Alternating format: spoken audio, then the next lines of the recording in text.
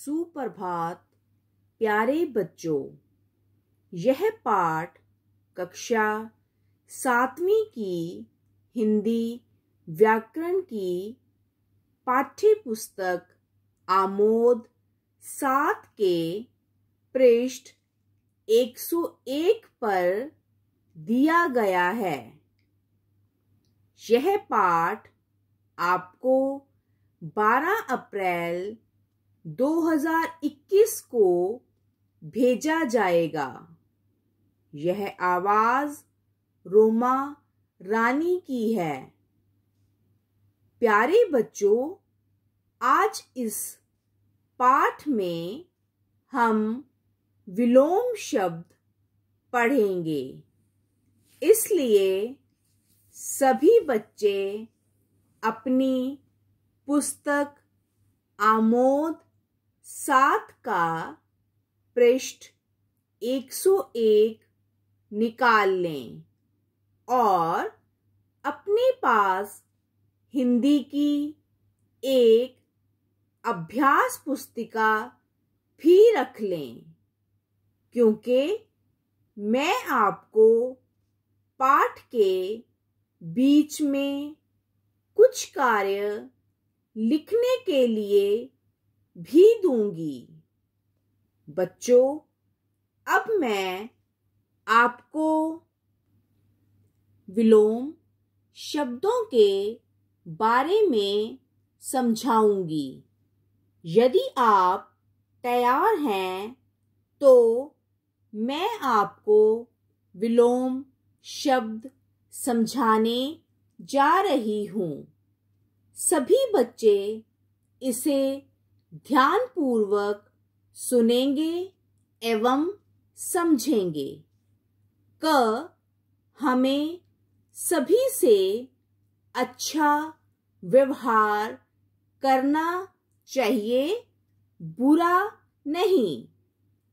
ख, मोहन दिन में काम करता है और रात को पढ़ाई करता है।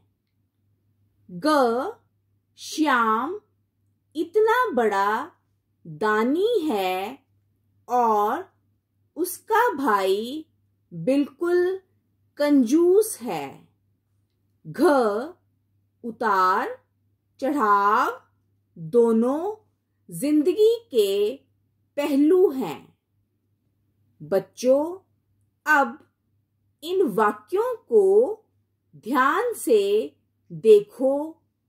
इनमें हर वाक्य में रेखांकित शब्दों के युगल एक दूसरे के विपरीत अर्थ दर्शा रहे हैं। यही विलोम शब्द हैं। जैसे क वाक्य में अच्छा का विलोम शब्द बुरा है। ख वाक्य में दिन का विलोम शब्द रात है। ग वाक्य में दानी का विलोम शब्द कंजूस है। घ वाक्य में उतार का विलोम शब्द चढ़ाव है। इस प्रकार बच्चों किसी शब्द का विपरीत या उल्टा अर्थ प्रकट करने वाले शब्द विलोम शब्द कहलाते हैं। बच्चों, मैंने आपको विलोम शब्द समझा दिए हैं।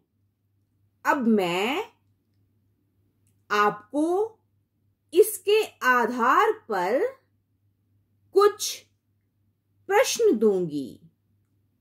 अब आप यहाँ तीन मिनट का अंतराल लेंगे और इन सभी प्रश्नों के उत्तर अपनी अभ्यास पुस्तिका में लिखेंगे। बच्चों, अब आप निम्नलिखित वाक्यों में सही विलोम शब्द लिखकर रिक्त स्थान भरें। क, परिश्रमी व्यक्ति सदैव तरक्की करते हैं। जबकि रिक्त स्थान व्यक्ति असफल होते हैं। ख, मोहित ने परीक्षा में प्रथम आने के लिए आकाश रिक्त स्थान एक कर दिया। ग, व्यापारी व्यापार में लाभ रिक्त स्थान का बहुत ध्यान रखते हैं। बच्चों, अब आपका समय समाप्त हो गया है। अब मैं आपको इन रिक्त स्थानों के उत्तर बताऊँगी। क, आलसी, ख, पाताल। ग, हानि, प्यारे बच्चों, अब हम हिंदी व्याकरण की पुस्तक आमोद सात के पृष्ठ 101 पर आए विलोम शब्द दिन से कृति तक करेंगे। आप इन्हें ध्यान से सुनेंगे एवं समझेंगे। शब्द विलोम शब्द। दिन, रात। राजा राजा का विलोम शब्द है रंक। स्त्री